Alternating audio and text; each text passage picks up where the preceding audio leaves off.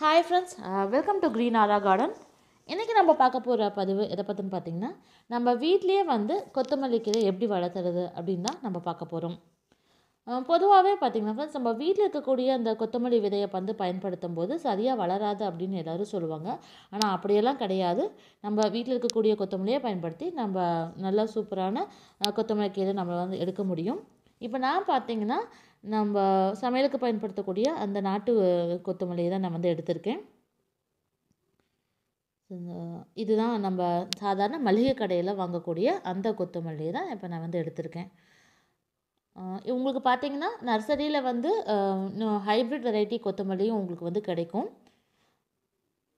But நம்மளுக்கு அது தேவைன்னா நம்ம இதுலேயே வந்து சூப்பராக வளர்த்து எடுக்கலாம். ஸோ அதுக்கு நம்ம முதல்ல என்ன செய்யலாம்னு பார்த்தீங்கன்னா எப்பயுமே முழு கொத்தமல்லியை போட்டிங்கன்னா அது வளர்கிறதுக்கு கொஞ்சம் லேட் ஆகும். அதனால் நம்ம அதை வந்து பாதியாக உடச்சி எடுத்துக்கலாம். ஆனால் இந்த கொத்தமல்லியை நம்ம தனியாக ஒவ்வொன்றா வச்சு உடச்சி எடுக்கிறதுக்கு ரொம்ப டைம் எடுக்கும். அதனால் இந்த மாதிரி ஒரு துணி பையில் வந்து போட்டுட்டு சப்பாத்தி தேய்க்கக்கூடிய கட்டை இருக்குது இல்லைங்களா? ஸோ அதை வந்து வச்சு உருட்டி நல்லா எடுத்திங்கன்னா உங்களுக்கு அது ரெண்டாக உடஞ்சி வந்துடும் ஸோ இந்த மாதிரி நல்லா அழுத்தம் கொடுத்து உடச்சி எடுத்துக்கோங்க. அதுக்கு ரொம்பவும் வச்சு அழுத்திடாதீங்க. அப்போ ரொம்ப தூள் தூள் ஆயிரும். அதாவது பாதியாக நம்மளுக்கு அதை பிரித்து எடுக்கணும். ஸோ அதுக்காக தான் இந்த கட்டையை வச்சு நம்ம உருட்டி எடுக்கிறோம். ஸோ இந்த மாதிரி நல்லா பிரித்து எடுத்துக்கோங்க. இப்போது இந்த கொத்தமல்லி என்ன செய்யலாம்னு பார்த்தீங்கன்னா நம்ம அப்படியே கொண்டு போய் மண்ணில் போட்டு தூவி விடாமல் ஒரு ஒரு நைட் ஃபுல்லாக வந்து தண்ணியில் நம்ம சோக் பண்ணி வச்சிடலாம். ஊற வச்சு வச்சிடலாம். இந்த மாதிரி ஊற வச்சுட்டு நம்ம மண்ணில் போடும்போது பார்த்திங்கன்னா உங்களுக்கு அந்த தளிர் வந்து சீக்கிரமாக வர ஆரம்பிச்சிடும் மழை வளர ஆரம்பிச்சிடும் இப்போ நான் வந்து சாதாரண ஒரு வேஸ்ட்டு மண்பானை எடுத்தது. நான் அதில் தான் போட்டு காமிக்கிறேன். அது இல்லாமல் நான் வந்து க்ரோ பேக்லேயும் வளர்த்தி எடுத்திருக்கேன். நான் ரெண்டையுமே காமிக்கிறேன் ஃப்ரெண்ட்ஸ் இப்போ இந்த மண் கலவை பார்த்திங்கன்னா வழக்கம் போல் நம்ம அந்த மண்புழு உரம் சாதாரண மண் தான் எடுத்திருக்கேன். கொஞ்சமாக வேப்பம் புண்ணாக்கு வந்து எடுத்திருக்கேன். இது எல்லாத்தையும் நல்லா கலந்து எடுத்துக்கோங்க. இப்போ நம்ம ஒரு நைட்டு ஃபுல்லாக ஊற வச்சிருந்த அந்த கொத்தமல்லி விதைகளாக இருக்கு இல்லைங்களா? அதை வந்து நம்ம இந்த பானையில் வந்து தூவி விட போகிறோம் அப்படியே நம்ம எடுத்து எல்லா பக்கமும் போடாமல் இதில் நான் இப்போ நான் கோடு கிழிச்சிருக்கேங்களா இந்த மாதிரி இடையில நல்லா ஆழமாக ஒரு குழி வந்து தோண்டிக்கோங்க. நம்ம கை விரல்கள் வச்சு நம்ம வந்து இந்த மாதிரி குழி வந்து பறிச்சுக்கலாம். ஸோ நம்ம போட்டிருக்க அந்த கோடு இருக்கு இல்லைங்களா? அதில் மட்டும் இந்த விதைகளை வரிசையாக தூவி விட்டுருங்க. ரொம்ப அதிகமாகவும் வ- விதைகளை வந்து போட வேணாம். கரெக்டாக அந்த ஒவ்வொரு பா கோட்லேயும் ஒரு தேவையான அளவுக்கு நம்ம வந்து தூவி விட்டுடலாம். போட்டுட்டு மேலாப்பில் வந்து மண்ணை வந்து போட்டு மூடி விடலாம். ரொம்ப அழுத்தம் கொடுத்து மூட வேணாம். லைட்டாக அந்த விதைகள் வந்து அந்த மண்ணில் மூடி இருந்தால் மட்டும் போதும். ஸோ இந்த மாதிரி மேலாப்பில் வந்து மண்ணை வந்து தூவி விட்டுடலாம்.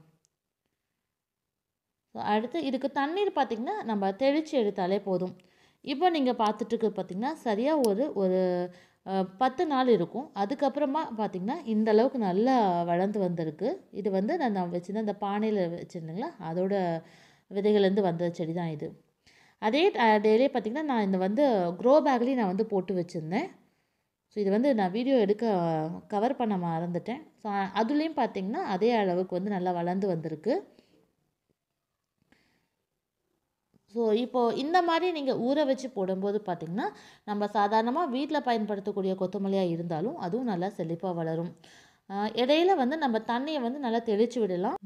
அதே போல் நம்ம கவனிக்க வேண்டிய இன்னொரு விஷயம் பார்த்திங்கன்னா எப்பயுமே வந்து இந்த மண்ணில் ஈரப்பதம் இருந்துக்கிட்டே இருந்தால் தான் கொத்தமல்லி இலையும் வந்து நல்லா செழிப்பாக வளரும்.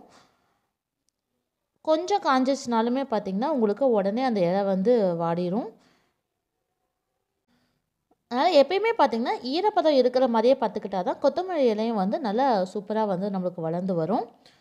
நம்ம வீட்டில் இருக்கக்கூடிய விதையை பயன்படுத்தும் போது அந்த கொத்தமல்லி இலைகள் வந்து ரொம்ப ஹைட்டுக்குலாம் வளராது.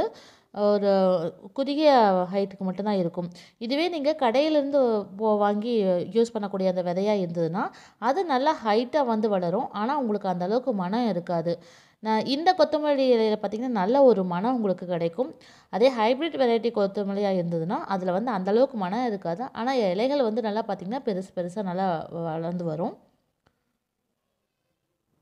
இந்த கொத்தமல்லி இலையில் வந்து பூ வந்து வர ஆரம்பிச்சிச்சுன்னா நம்ம வந்து அதை அறுவடைக்கு ரெடி ஆயிடுச்சுன்னு அர்த்தம். ஸோ அந்த ஸ்டேஜுக்கு முன்னாடியே வந்து நம்ம அந்த இலைகளை வந்து பறிச்சிடலாம். அதே மாதிரி இதுக்கு வெயிலும் வந்து ரொம்ப அதிகப்படியான வெயிலும் வந்து இருக்கக்கூடாது. அதனால் கொஞ்சம் நிழல் பகுதியாக பார்த்து வச்சு வளர்த்துனீங்கன்னா தான் எப்பயுமே இலைகள் வந்து இந்த மாதிரி பச்சை பசேல்னு இருக்கும். ஸோ அதையும் கவனிச்சிக்க வேண்டிய விஷயம். இது பார்த்தீங்கன்னா நீங்கள் தரையிலையும் வளர்த்தலாம்.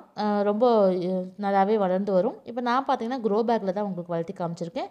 ஸோ இந்த மெத்தடில் நீங்களும் ட்ரை பண்ணி பாருங்கள் உங்கள் வீட்லேயும் அருமையான கொத்தமல்லி கீரையை நீங்களும் வளர்த்து எடுக்க முடியும். ஐ ஹோப் ஃப்ரெண்ட்ஸ் இன்றைக்கி பார்த்த இந்த வீடியோ கண்டிப்பாக உங்களுக்கு யூஸ்ஃபுல்லாக இருந்திருக்கும்னு நினைக்கிறேன். இந்த வீடியோ உங்களுக்கு பிடிச்சதுன்னா மறக்காமல் லைக் பண்ணுங்கள் ஷேர் பண்ணுங்கள் மீண்டும் அடுத்த ஒரு நல்ல ஒரு யூஸ்ஃபுல்லான வீடியோ உங்களை வந்து சந்திக்கிறேன். நன்றி.